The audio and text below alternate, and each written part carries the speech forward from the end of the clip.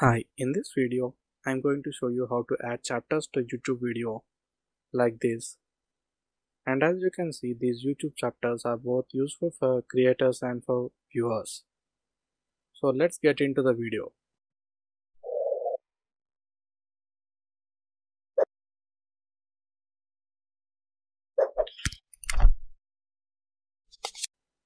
So let's create YouTube chapters for one of my videos and as you have noticed there are no chapters on this video. These chapters are also called timestamps as well so don't be confused with the words YouTube chapters and YouTube timestamps. Both are one and the same. So to add YouTube chapters you need to go to your video details by clicking on edit video right here or you can go to YouTube Studio and find the video that you want to add chapters to and then click on edit details. Either way you will land on this same page.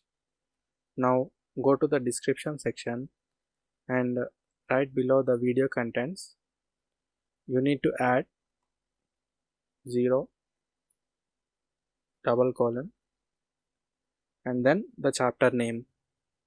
In my case chapter name would be start. So the uh, name that you give the chapter will be shown right here. So be sure to give the appropriate name. There are some conditions that your video chapters should meet to be able to show on youtube. Those are the first timestamp should be starting from 0 that is in the same format 0 is 0 semicolon double zeros and then the chapter name. And your video should have at least three timestamps or chapters and each video is 10 seconds or longer. I mean each chapter is 10 seconds or longer. Now click on save. Let's see can we see our chapters on our YouTube video? Now as you can see the chapters are showing up